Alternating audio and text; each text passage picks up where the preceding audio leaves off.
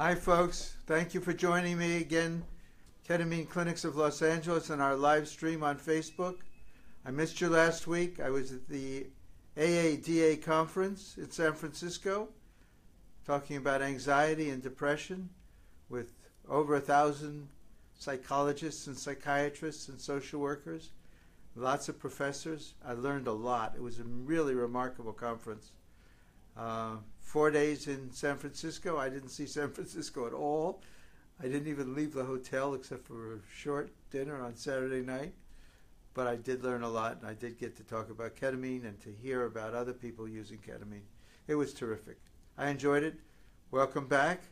We're in uh, our clinic again, and I had a number of topics I wanted to talk about. One of the things was safety. I get questions all the time about how safe is it? Well, ketamine is really safe. Ketamine has an enormous therapeutic index. That's the ratio of the effective dose to the lethal dose. It's really, really enormous. It's very safe. Occasionally, people do need some kinds of support, and in our clinic, we have a full range of supportive measures. In addition to highly trained people, we all have ACLS, all the clinical people have advanced cardiac life support and they really know how to use it. We have drills. But in addition to that, we have the right technology. I don't know if you can see this because the camera's kind of close to me, but I have a crash cart here. We call it a crash cart because it has the things that we need if we ever have to support people physiologically or resuscitate them. Uh, this is something that we dust regularly so that it doesn't gather too much dust. We don't want to use it, but we want it to be ready to be used if we need to use it. This includes all kinds of things for supporting an airway. It includes a means of ventilating the patient. I don't know how much you can see. It includes a defibrillator. It includes suction. It includes everything that we would need to support someone whose physio- physiology was so deranged that they couldn't support themselves. It also includes all the drugs recommended for resuscitation in these various drawers down here. Um, our crash cart is three years old and it's never been used. We hope I'll be saying that in 30 years. But we do keep a log. We do make sure that the medicines in it are in date.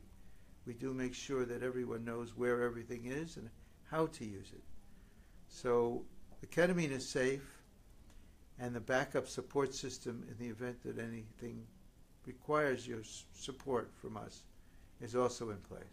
That's nice reassurance. And in over three years, how about how many cases would you say you've done? About how many infusions have you administered? Over 4,000. And you haven't needed to use any of, this, any of that equipment once? Not once. Excellent. Ketamine is safe.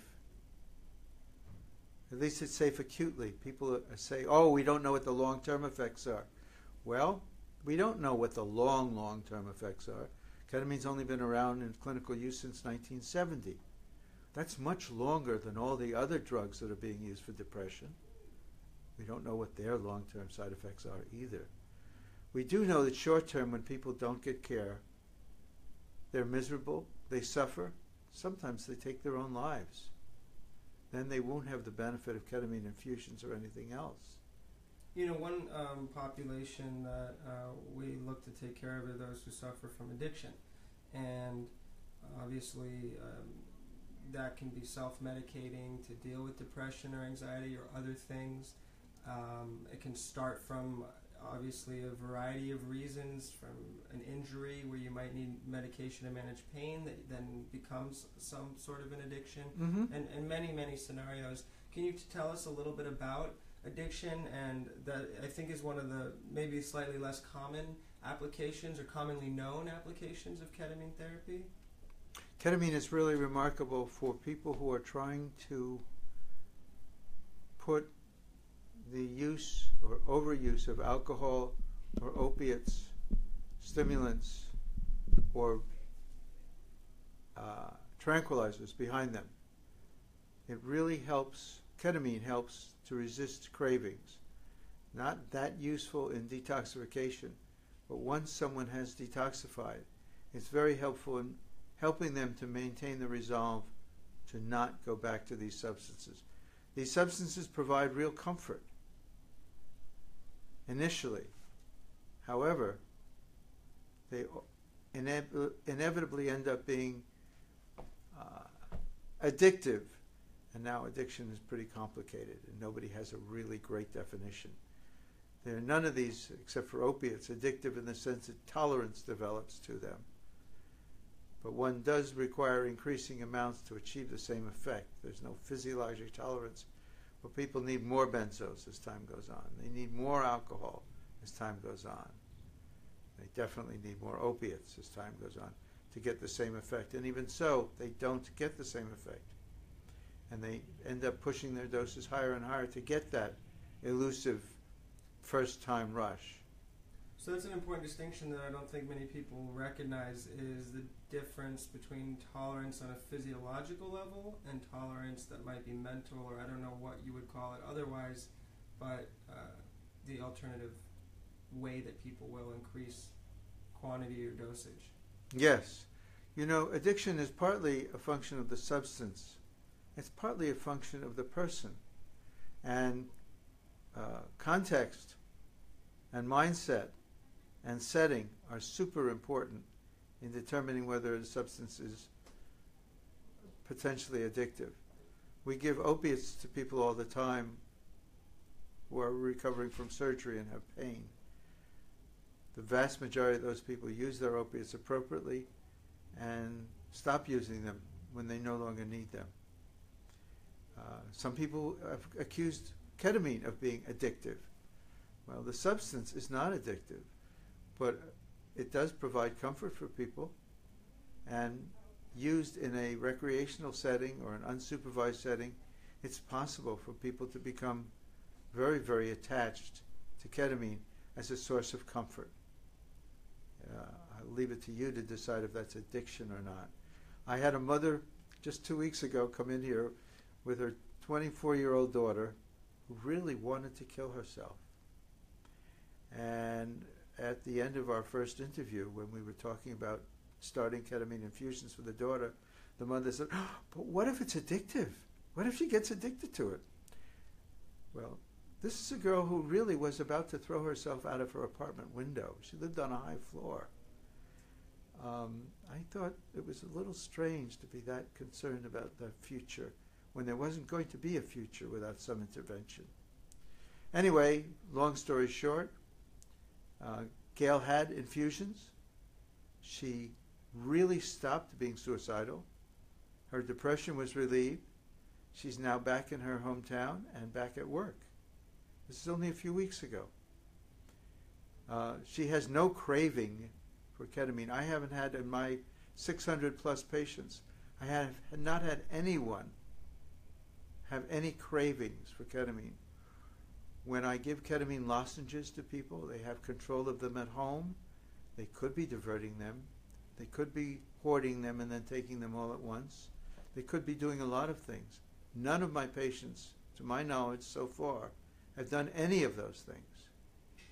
Yeah, it's really interesting because you know people, I think, uh, maybe exaggerate the abuse of ketamine. Not to say that it isn't something that is, uh, I guess you could say, moderately popular or um, more popular than it was, and people definitely do. Uh, yet, many many patients in in the clinic, even those who might find the experience somewhat um, pleasant or interesting they often make comments like, I could never imagine doing this in a club or out recreationally, or I could never do this just for fun or to get high. It's, it's hard for them to even wrap their heads around why people are, uh, are using it in that way. I hear that all the time. People say, This is really transformative. I'm so happy that I'm doing this. I cannot imagine why anyone would do it for fun. Very common. And I have people who occasionally say, you know what? I could see. I could see why somebody would want to do this for fun. but I'm very happy to not do it except when I need it. Set and setting are super important. Ketamine's addiction liability is mostly discussed by people who would like to see patients not receive ketamine as an excuse to avoid offering it. When people are suffering, when people are threatening to take their own lives, to withhold a drug because it might have long term side effects or it might become addictive is absurd. It's not valid. It's a detractor's argument. So, for anyone who might be uh, suffering from uh, or struggling with addiction presently, what would you advise them if they were interested in the possibility of if ketamine might help? Um, what would you tell them to do in terms of first uh, steps towards recovery? Optimally, they should detoxify from the, the drugs they're presently dependent upon. Right.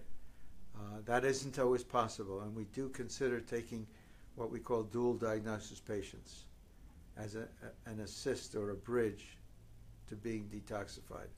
Most of the time, people come here detoxified, and they are looking for greater resolve in resisting their cravings.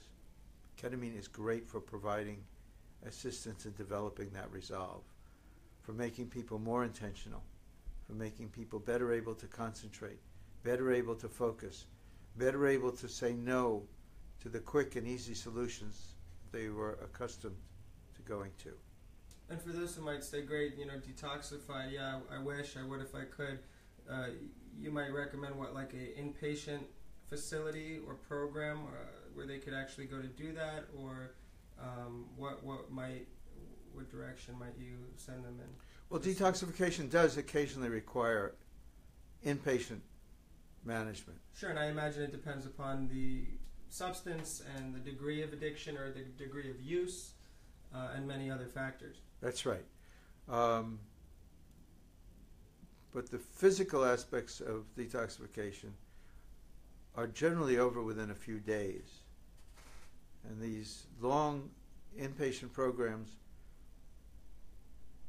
could, many of these patients could be managed outpatient if they have good supervision.